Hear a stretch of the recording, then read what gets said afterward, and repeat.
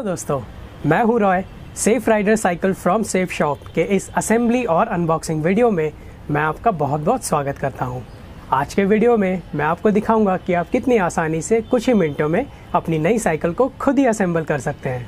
आपकी नई Safe Rider cycle from Safe Shop कुछ इस तरह से बॉक्स में पैक करके भेजी जाती है ताकि वो सुरक्षित आप तक पहुँच सके। टेप को काट कर आप बॉक्स को खोल लीजिए। आपकी साइकिल बॉक्स के अंदर कुछ इस तरह से पैक और सुरक्षित पहुंचाई जाती है। दोनों हाथों से पकड़कर आप अपनी साइकिल को बाहर निकाल लें। एक कटर की सहायता से आप लगे हुए केबल्स को कट करके हैंडल बार को निकाल लीजिए।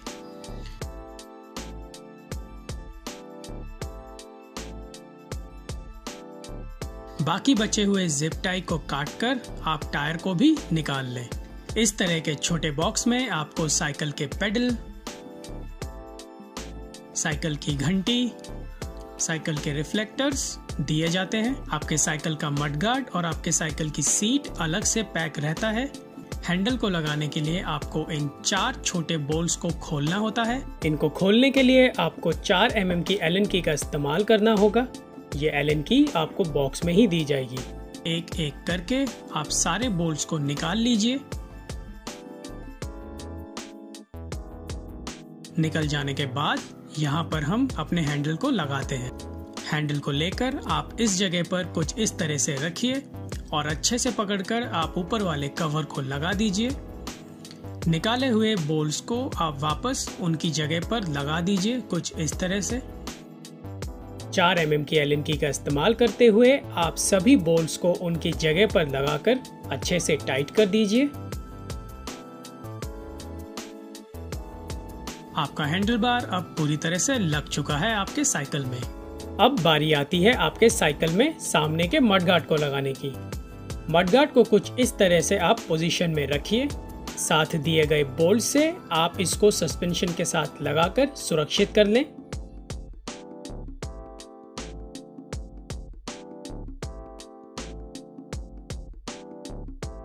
इस छोटे से नट को आप पीछे के तरफ़ से बोल्ट पर टाइट करके लगा दें। अब बाकी बचे हुए सामने के मडगार्ड के पीस को भी हम लगा देंगे।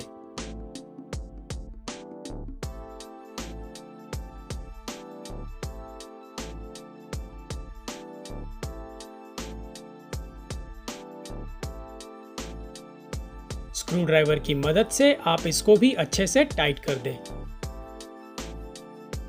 आपका मडगार्ड अब लग चुका है। अब बारी है हमारे सामने वाले टायर को लगाने के लिए। सामने के व्हील को लगाने के लिए आपको सबसे पहले इस नट को थोड़ा सा ढीला करना होता है। सामने के व्हील को लगाने के लिए अपने साइकिल को कुछ इस तरह से आप उल्टा रख दें, जिससे व्हील को लगाने में आपको काफ़ी मदद मिलती है। आप धीरे से व्हील को ऊपर से नीचे की तरफ़ ले आए और उसके जगह पर लगा दें। ध्यान रखें कि डिस्क ब्रेक के ब्लेड वाली साइड को आप डिस्क ब्रेक के साइड पर ही लगाएँ। इस छोटे से वॉशर को आप धीरे से अंदर धकेल कर इसको सुरक्षित करें, जिससे ये अपनी जगह पर बना रहता है। व्हील लग जाने के बाद आप नट को पहले हाथों से थोड़ा टाइट कर दें। फिर 15 नंबर के स्पैनर जिसको हम चाबी भी बोलते हैं, उसका इस्तेमाल करके इसको अच्छे से टाइट कर दें। ये स्पैनर आपको बॉक्स में साथ में दिया जाएगा। डिस्क ब्रेक को एडजस्ट करने के लिए आप डिस्क ब्रेक के नट को थोड़ा सा ढीला कर लीजिए। इसके लिए हमें पाँच एम की एलन की का इस्तेमाल करना होगा। पाँच एम की एलन की आपको बॉक्स में साथ में दी जाएगी। ढीला होने के बाद आप डिस्क ब्रेक को ठीक जगह पर करके वापस टाइट कर दीजिए।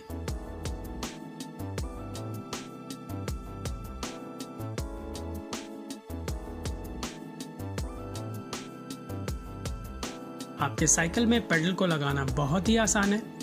आपके पेडल पर एल यानी के लेफ़्ट और आर यानी के राइट का निशान दिया हुआ है, जिससे आपको मदद मिलेगी उनको सही जगह पर लगाने में। सबसे पहले हम आर यानी के दाहिने पैर वाले जगह पर पेडल को लगाएँगे। इसको लगाने के लिए आप इस तरह से इसको अंदर धीरे धीरे लगाइए। पंद्रह नंबर के स्पैनर से आप पेडल को अच्छे से टाइट कर दें। यह स्पैनर आपको बॉक्स में मिल जाएगा। इसके बाद हम बाएँ पैर वाले पेडल को लगाएँगे जिस पर एल का निशान लगा हुआ है। इसको भी पहले के तरह आसानी से लगाएँगे।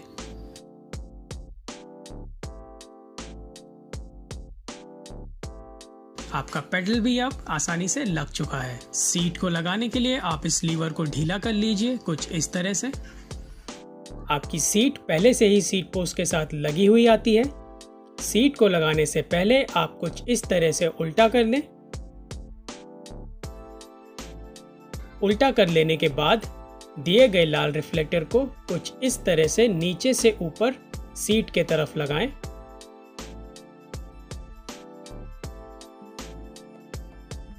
आपका रिफ्लेक्टर कुछ इस तरह से दिखेगा लगने के बाद। इसके बाद आप इसी तरह से पीछे लगने वाले मडगार्ड को भी लगा लें।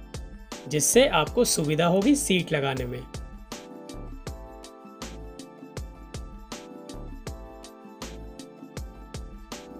अब आप अपने सीट पोस्ट को उसके जगह पर आराम से अंदर के तरफ़ लगा दें। सीट पोस्ट लीवर को टाइट करके आप सीट को सुरक्षित कर लें।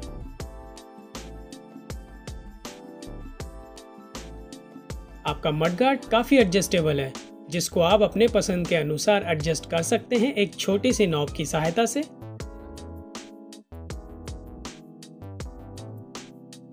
अब हम लगाएँगे आपके गियर के गार्ड को।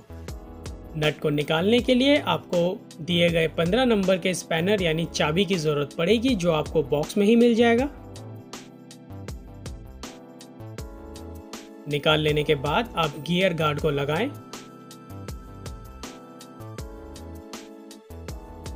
लग जाने के बाद नट को वापस उसकी जगह पर लगा दें और दिए गए स्पैनर की सहायता से इसको टाइट कर लें। ये गार्ड आपके गियर को सुरक्षित रखने में सहायता देता है। अब हम हैंडल पर हमारे रिफ्लेक्टर को लगाएँगे। इसको लगाने के लिए कुछ इस तरह से आप इसको लगाइए। फिर हैंडल पर कुछ इस तरह से आप इसको सुरक्षित करें। साथ दिए गए स्क्रू की मदद से इसको टाइट कर दीजिए। घंटी को लगाने के लिए आप बस धीरे से इसको हैंडल पर लगाइए और साथ दिए गए नट से इसको टाइट कर दीजिए।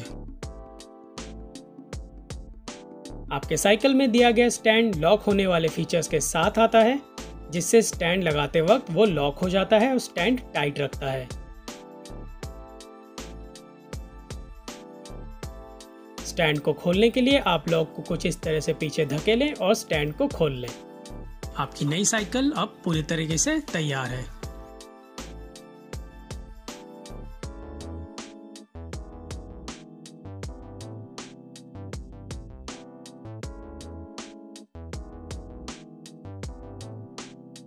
इससे पहले कि आप अपनी साइकिल को पहली बार चलाने जाएँ, कुछ बातों का ख्याल आपने रखना है।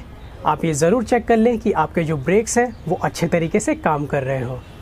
अगर आपने इससे पहले कभी साइकिल को खुद असेंबल नहीं किया है तो हमारी सलाह मानिए, आप किसी प्रोफेशनल मैकेनिक की सहायता लेकर ही अपने साइकिल को असेंबल करें। इससे आपकी साइकिल बिना किसी समस्या के असेंबल हो जाएगी। सेफ़ शॉप की तरफ़ से हम आपको बहुत बहुत शुभकामनाएँ देते हैं।